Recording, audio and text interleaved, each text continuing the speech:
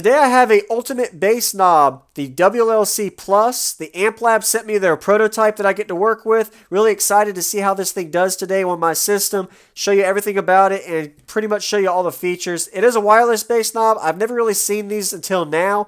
And if you want to know more about it, check out the links in the description after watching this video all the way through. I hope I answer all your questions. They have a RGB lighting system, seven solid different color options, and three different effect options on the Plus version, which is actually what I get to work with today. So I really like that they have a magnetic mount, so you're able to mount this anywhere, and then the magnet, look at that, just catches onto the base of the RCA system. So the wireless bass knob here has seven different LED settings that I was mentioning, the solid colors you get to choose from. I really like the actual look of the knob too. So this is an aluminum bass knob. Their standard wheel they're going to be coming with is clear knurled plastic wheel, but mine is a black aluminum wheel. It doesn't come standard, but it will be an option that they're going to add. If you want to pause it ever, this is all of the features, some of the key things I see that I like to mention. It has a safe mode. It has adjustable knob sensitivity levels. I'll be able to show that later in the video. It has a built-in mute full function. You're able to play up to 18 hours without the LED or down to around 10 to 11 hours with the LED. Able to run up to 25 feet wirelessly with a USB-C charging system. System, wide range frequency response of 10 hertz up to 50 k hertz. Battery protection mode, safe mode multiple LED functions and illumination, and the brightness adjustment. So you're able to change how level of brightness you want it to be. And you can turn the light on or off. So that's pretty cool. So now we're going to dive into getting this installed. Okay, so I went ahead and got everything hooked up. I installed the uh, input and the output on the main box. RCA is coming from my head unit. These are two and a half volts. And then the output going to my back amplifier. Since everybody watching my channel knows I have two amplifiers strapped and then I have the ground remote and then the power going directly to my battery. And I'll get do the first turn on and show y'all how it looks. Really nice bass knob Bluetooth device. I'm looking forward to seeing how it sounds. Kind of show y'all what it, the feel is on my system as well. And uh, kind of run through the actual steps. So since this is a brand new product, this is a first for me as well. But I'm really glad to be able to share it with y'all on YouTube. So go ahead and give it a like once again if you haven't already. I appreciate y'all watching and subscribing. All right, so now I've got my turn on wire here. I'm gonna go ahead and set up, looks like it needs to be paired to the actual knob from the base, and I'll do that now. So what I'm doing is instead of hooking it up to a blue turn on, I'm actually gonna hook it up to my battery. Instead, it'll turn on from the battery, work the exact same, and then I can just turn on my stereo head unit with my amplifier. So here we go. There we go. All right, so it turns on through the actual battery. So it's pulsing. It says, make sure power switch is on, the remote is off. Power on the base. Observe the LED. LED base should be pulsing once every second, which it is. Within one minute of powering the base on, press and hold the volume knob button on the wireless remote. So it just started and it was pairing. So now it's paired. Look at that, 13, 13.4. So it was paired. There we go. Very nice. Worked out really well. So I got it to where this was actually saying starting. Took about eight seconds to say starting. Then it paired with the base. And now it's reading the voltage of my battery, which I'm running a LiFePO lithium. It's been sitting for three days and it's at 13.4. Sorry if you can't see that very well.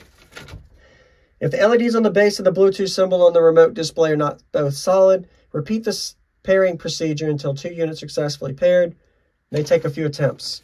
So everything worked out great for the bass knob to the base pairing. So now I want to go through the settings and kind of look at the different things that I can work with, like the brightness for sure. I like to have it all the way up for this test. Uh, the LED effects, I can look through and kind of pick out which colors I like. Solid green, solid red, blue, yeah, purple. I know they have seven different colors, orange, pink, white, and then if you want to fade it, so I'll update it to where it fades in between the uh, actual different colors. I kind of like that scheme. And then there's some other LED effects I was showing you in the dark. And then if I want to actually adjust to where if I want to turn the light on or off, that just depends on if I switch it. So if I switch it, let me make sure, sorry. So I had the switch in the middle, which turned the LEDs off. And then when I turn the switch to the left, it turns these LEDs on.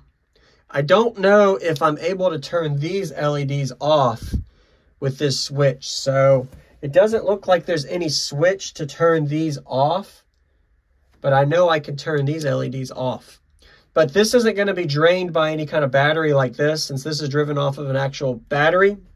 As I mentioned earlier, you have an 18 hour lifespan without the illumination and an 11 with. So using this, depending on, of course, how you set your brightness too. But since this is wireless, you kind of kind of consider if you want to worry about your battery or not. But all the other features like having the safe mode and uh, protection that they have so you don't have to worry about anything if it does die.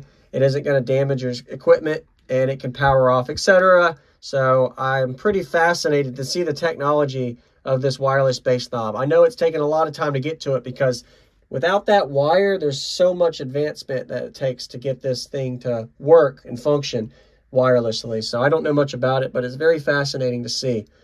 But anyway, let's look at the other setting on here. So LED effects that I went through and the brightness I can adjust. So safe mode I was mentioning earlier. I want to have safe mode on and I talked about that earlier for what it was. So updated the base. So now the base is set up for safe mode and sensitivity. So I like to have very high sensitivity. So I went ahead and set my sensitivity at high. That's for my actual output of my base. And then that is it. So let's go ahead and exit. There we go. And you can see it picks up the S for safe mode, just like you saw earlier in the modular, or the this uh, manual. You can see all the different features it shows you. Really cool. And got almost a full charge right now. And I'm at 13.4 because the vehicle is off and I'm on lithium.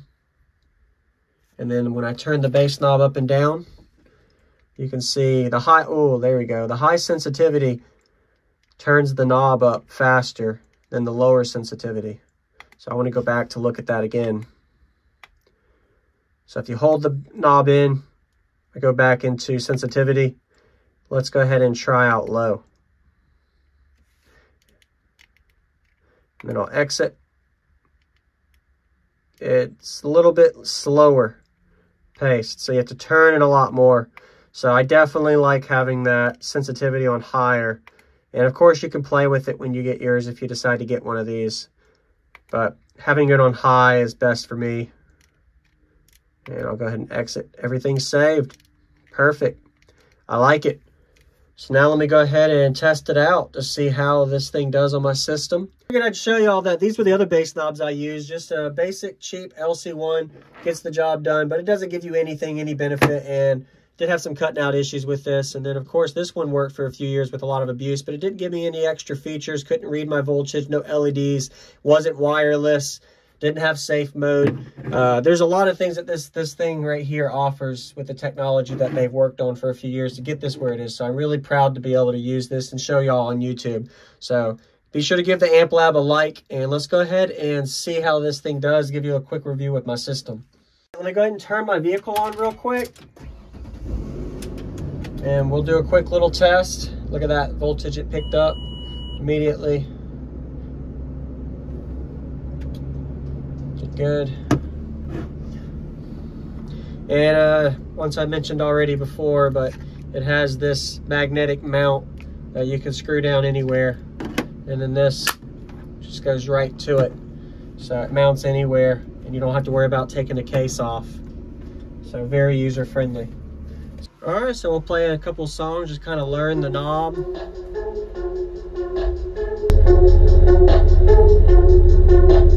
play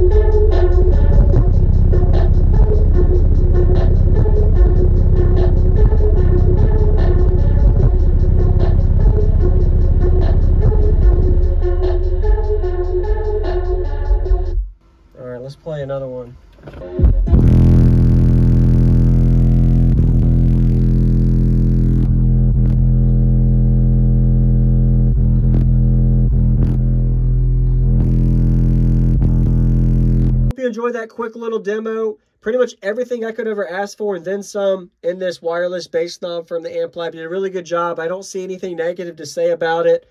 I really like everything. The LED style, changing it between seven different colors, having that safe mode, to have to not have to worry about any amplifier issues, having a magnetic mount for ease of use, really cool. And then, of course, having a 25-foot range with the wireless adapter, so I'm able to actually not have to worry about wires anymore. So that's one of the biggest perks, and uh, so many other things I mentioned earlier.